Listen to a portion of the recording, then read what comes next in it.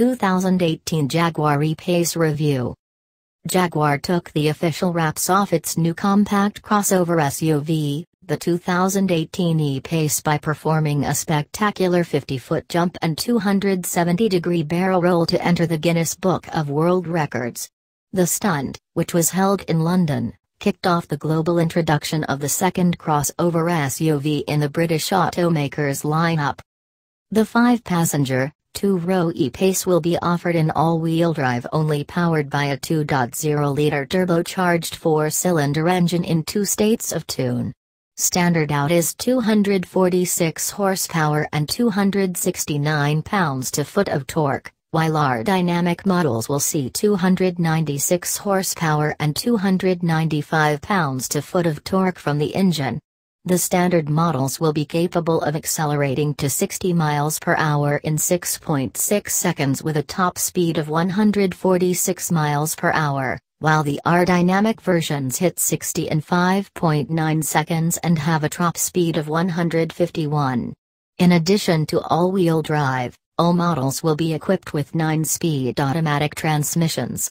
Based on Jaguar's platform underpinning its sedan, the 2018 E-Pace is expected to compete with other performance-oriented crossovers like the Porsche Macan and the recently introduced Alfa Romeo Stelvio. Slotted beneath the midsize F-Pace, the all-new E-Pace rides on a 105.6-inch wheelbase and measures 173.0 inches in overall length.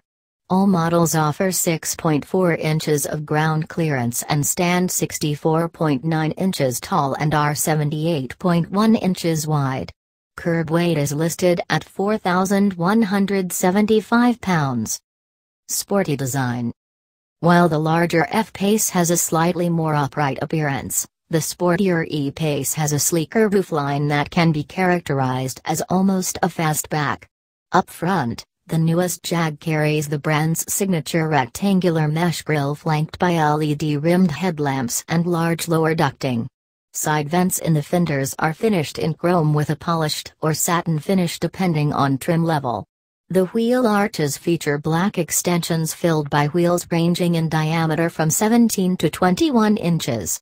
At the rear, there is a large upper tailgate spoiler and large jet engine-inspired exhaust tips to underscore the vehicle's performance intent. Inside, the cockpit design features a driver-oriented wraparound dash with a passenger grab handle on the center console, a layout inspired by the Jaguar F-Type two-seat sports car. A two-tone approach used in that vehicle is also incorporated in the E-Pace. Instead of traditional wood accents, the vehicle makes extensive use of chrome trim. Premium leather is used on the steering wheel, center console grab handle and gear shifter. Leather seating is standard on higher trim levels.